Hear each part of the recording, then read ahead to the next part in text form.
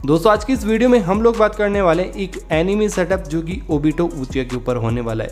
यहाँ पे आप होम स्क्रीन देख सकते हो, एकदम प्रीमियम देखने को मिलती है। यहाँ पे वॉलपेपर की डिटेलिंग देख सकते हो, साथ ही विज़िट कॉम्बिनेशन एंड आइकन कॉम्बिनेशन भी काफ़ी ज़्यादा सुपर है। तो वीडियो काफ़ी ज़्यादा अमेजिंग होने वाली है। सब कुछ डिटेल में बात करने वाले हैं। वीडियो को लाइक कर देना एंड कॉमेंट कर देना और चैनल को सब्सक्राइब करना मत भूलना। तो चलो वीडियो को स्टार्ट करते हैं। अब देखो सेटअप को क्रिएट करने के लिए आपको यहाँ पे कुछ बेसिक सेटिंग्स करना पड़ेगा। ज़्यादा इंपॉर्टेंट सेटिंग्स नहीं है। बॉटम में चार या फिर पाँच आइकन्स को ऐड कर लेना। अब देखो, यहाँ पे हम दो ट्रिक का यूज़ करेंगे। अदर एंड्रॉइड डिवाइस की एक डिफरेंट ट्रिक का यूज़ करेंगे और शोमी रेडमी पोको डिवाइस के लिए एक डिफरेंट ट्रिक का यूज़ करेंगे। तो पहले बात कर लेते हैं शोमी के स्मार्टफ़ोन के बारे में। तो आपको क्या करना है? थीम स्टोर एप्लीकेशन को ओपन करना है। ओपन करने के बाद आपको ये वाली थीम डाउनलोड करना पड़ेगा। अब देखो, मेरा स्मार्टफ़ोन अभी एम पे वर्क कर रहा है। अगर आपके स्मार्टफ़ोन में हाइपर ओएस है तो आप कोई भी एक डिफरेंट पिंक आइकन्स का यूज़ कर सकते हो। यहाँ पे एम आई में आपको पिंक नियोन थीम का यूज़ करना है एंड ये वाली थीम आपके सामने ओपन हो जाएगी। उसके बाद कस्टमाइज वाले ऑप्शन के ऊपर क्लिक करना एंड इसको यहाँ पे आइकन्स के ऊपर अप्लाई कर देना। अब देखो, जैसे मैंने इसको अप्लाई किया, कुछ इस टाइप का होम स्क्रीन का इंटरफेस देखने को मिलता है। अब देखो, आपको क्या करना है? प्ले स्टोर एप्लीकेशन ओपन करना है। अदर एंड्रॉइड डिवाइस की बात कर रहा हूँ। तो प्ले स्टोर एप्लीकेशन को ओपन करने के बाद आपको यहाँ पे सर्च बार में डाउनलोड करना पड़ेगा। नोवा लॉन्चर ये वाला एप्लीकेशन आप डाउनलोड कर लेना। बिल्कुल फ्री एप्लीकेशन है। उसके बाद आपको डाउनलोड करना है पिंक आइकन अब देखो, यहाँ पे आप टाइप करोगे पिंक आइकन तो आपके सामने काफ़ी सारे फ्री आइकन पैक देखने को मिलेगा। तो उसको आप डाउनलोड कर सकते हो। ईजिली आपको डाउनलोड हो जाएगा तो डाउनलोड कर लेना।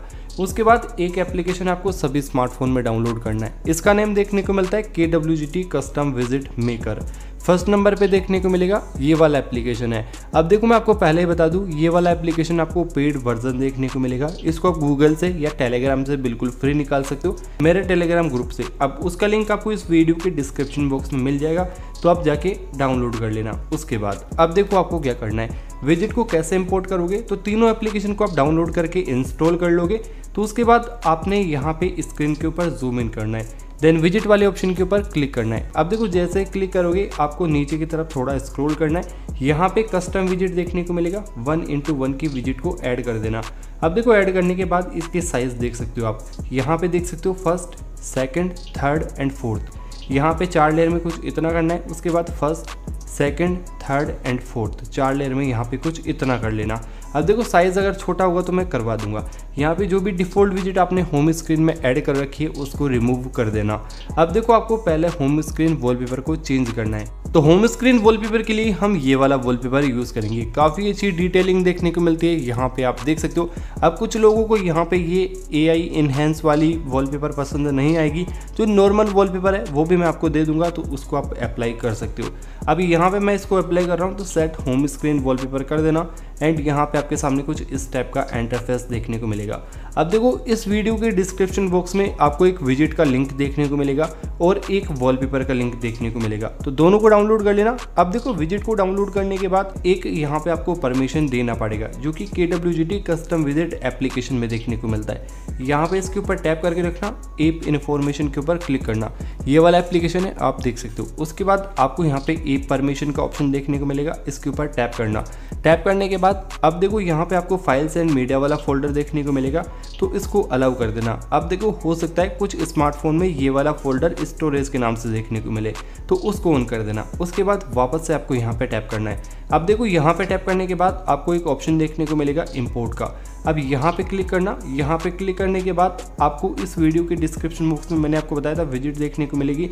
तो कौन सी विज़िट है? यहाँ पे आप देख सकते हो। सी जेड टू हंड्रेड के नाम से देखने को मिलती है। ये वाले विज़िट आप डाउनलोड कर लेना।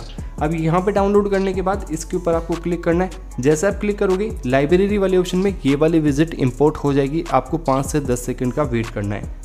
अब देखो, यहाँ पे मेरी विज़िट आ चुकी है। आने के बाद आपको साइज़ को कुछ भी सेट नहीं करना है। ऑलरेडी मैंने सेट कर रखा है। आपको यहाँ पे सेव का आइकन देखने को मिलेगा। बस इसके ऊपर आपको क्लिक करना है। अब देखो, कुछ लोग, अगर आप विज़िट के ऊपर टैप करोगे तो विज़िट ओपन हो जाएगी। तो आपको यहाँ पे टच वाले ऑप्शन के ऊपर क्लिक करना है और यहाँ पे बॉक्स खाली देखने को मिलेगा। इसके ऊपर क्लिक करके यहाँ पे डिलीट कर देना।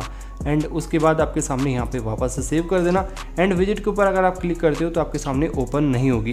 कुछ इस टाइप का होम स्क्रीन आप अपने फ़ोन में ईजिली अप्लाई कर सकते हो। एंड ये किसी भी फ़ोन में वर्क करेगा, चाहे आपके पास Xiaomi Redmi Oppo Vivo OnePlus या फिर अदर एंड्रॉइड डिवाइस है, उसमें भी वर्क करेगा।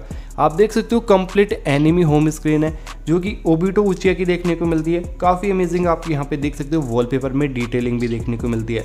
अब देखो लॉक स्क्रीन को यहाँ पे मैंने कस्टमाइज नहीं किया। हो सकता है, आने वाले कुछ दिनों में एक और ओबिटो का सेटअप मैं लेके आ जाऊँ तो उसका वेट ज़रूर करना। ये था एक छोटा सा होम स्क्रीन सेटअप अगर आपको वीडियो पसंद आई हो तो वीडियो को लाइक कर देना। मिलते हैं किसी और इंटरेस्टिंग टॉपिक के साथ। तब तक के लिए बाय बाय